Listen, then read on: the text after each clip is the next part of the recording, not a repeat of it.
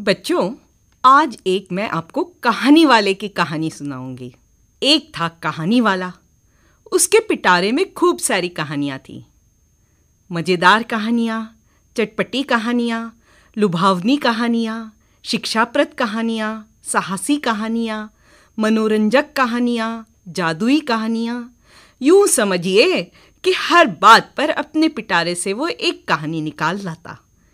कभी मोहल्ले में कहानी सुनाता तो कभी गलियों में, कभी घर के अंदर सुनाता तो कभी खुले हुए खेतों में।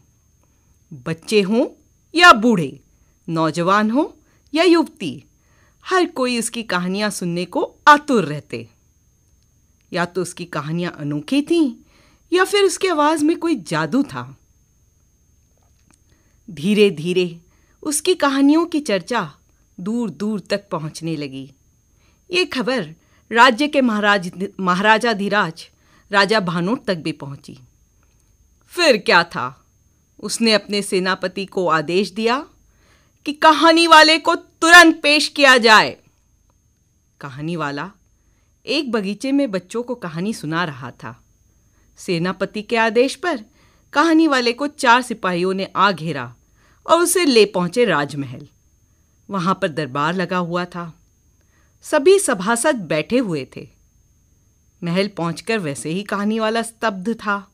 उस पर जिस तरह उसे पकड़कर लाया गया था, उससे वो डरा हुआ भी था। तभी राजा ने हुक्म फरमाया एक कहानी वाले, तुम्हारा बड़ा नाम सुना है। हम तुमसे आसमान में रहने वाले राजा की कहानी सुनना चाहते हैं। हर समय, हर मौके पर कहानी सुनाने वाले उस कहानी वाले को उस समय पर कोई कहानी न सूझी। बहुत सोचकर उसने कहना शुरू किया, एक एक था राजा। सारे सभासद उसकी ओर बड़ी आस से देखने लगे। वो सब भी उसकी कहानी सुनना चाहते थे। आखिर वो इतना मशहूर जो था? पर ये क्या? एक था राजा के आगे उसके मुख से कोई शब्द ही नहीं निकल रहे थे। उसने बहुत सोचा बहुत सोचा। पर उसे कोई भी कहानी नहीं सूझ रही थी। राजा ने अपनी कड़कती आवाज़ में कहा आगे सुनाओ। कहानी वाला चुप। उसने बोलने के लिए एक बार फिर हिम्मत करके मुँह खोला। तो बस एक था रा, रा, राजा के अलावा कुछ नहीं निकला। बाकी सभासद हंसने लगे। पर तब तक राजा का गुस्सा सातवें आसमान पर पहुँच चुका था। पहली बार किसी ने उसकी आज्ञा का उल्लंघन किया था। रौबदार आवाज़ में उसने कहा, ए कहानी वाले, तुमने मेरी आज्ञा का पालन नहीं किया है और इसलिए मैं तुम्हें आजीवन कारावास की सजा सुनाता हूँ। सैनिकों, ले जाओ और इसे कर दो बंद कारागृह में। मेरी आज्ञा न मानने पर क्या नतीजा होता है? यह इसे भी समझ जाए और सारी प्रजा को भी। सभी लोग हैरान थे। कहानी वाला भी परेशान। उसे समझ ही नहीं आ रहा था कि उसके मुँह से शब्द क्यों नहीं निकले। सैनिकों ने उसे तुरंत पकड़कर कारागृह में डाल दिया। उधर, जब बच्चों को पता चला कि कहानी वाले को राजा ने उम्र कैद की सजा सुना दी है तो वो बहुत विचलित हुए। सब जानते थे कि राजा बड़ा ही गुस्सैल है, पर हिम्मत करके वो सब एकत्रित हुए और पहुँचे राजा के द्वार।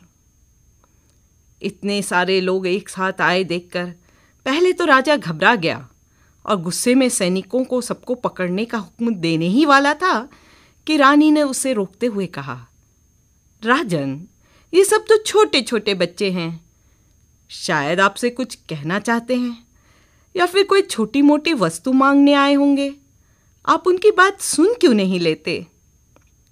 रानी की बात राजा कभी नहीं टाला करता था। वो बच्चों से मिलने को तैयार हो गया। एक बार फिर दरबार बुलाया गया। राजा ने बच्चों से कहा, बोलो प्यारे बच्चों, तुम मुझसे क्या चाहते हो? यहाँ क्यों आए हो? एक लड़के ने हिम्मत करके कहा, महाराज, हम आपके सामने एक विनती लेकर आए हैं। हम सब चाहते हैं कि कहानी वाले को छोड़ दिया जाए। पीछे खड़े सभी बच्चे भी चिल्लाने लगे। कहानी वाले को छोड़ दिया जाए कहानी वाले को छोड़ दिया जाए वरना हम सब खाना पीना बंद कर देंगे। राजा ने बात संभालते हुए कहा आ, चलो ऐसा करते हैं। आप में से चार पाँच बच्चे मेरे साथ आओ और हम सब कारागृह में चलते हैं। यदि कहानी वाला हमें एक कहानी सुना देगा तो उसे छोड़ दिया जाएगा वरना मैं कुछ नहीं कर पाऊँगा। अब राजा और पाँच बच्चे कारागृह में पहुँचे। आगे आगे राजा और बच्चे पीछे पीछे। राजा सोच रहा था कि और कैदियों की तरह कहानी वाला भी दुखी दुखी बैठा होगा। पर ये क्या? कहानी वाला तो वहाँ भी कहानी सुना रहा था और सभी कैदी उसे ध्यान से सुन रहे थे। कहानी वाला कह रहा था, विपासा नामक उस कठपुतली से कठपुतली वाले ने कहा, आज से तुम सिर्फ़ मेरे लिए ही नृत्य करोगी। और उसे एक कमरे में बंद कर दिया। उसे खाने, पीने, पहनने के लिए महँगी से महँगी वस्तु उपलब्ध थी। पर न जाने क्यों, इतना सुंदर नृत्य करने वाली विपासा दुखी रहने लगी। वो खड़ी तो होती, हाथ पैर भी चलाती, पर उसके नृत्य से भाव चला गया था। जब कठपुतली वाले ने देखा, क्या वो नृत्य नहीं कर पा रही है? तो उसने उसे छोड़ दिया। बाहर निकलते ही जैसे ही विपासा ने सुंदर झरना देखा, लाल, पीले, नीले, हरे फूल देखे और हरे हरे पेड़ देखे, उसके हाथ पैर एक बार फिर थिरकने लगे। कठपुतली वाले की नज़र उस पर पड़ी और वो समझ गया कि विपासा उसके बंद कमरे में नृत्य क्यों नहीं कर पा रही थी। उसने फिर कभी उसके पाँव में बेड़ियाँ नहीं डाली। सभी कैदी तालियाँ बजाने लगे।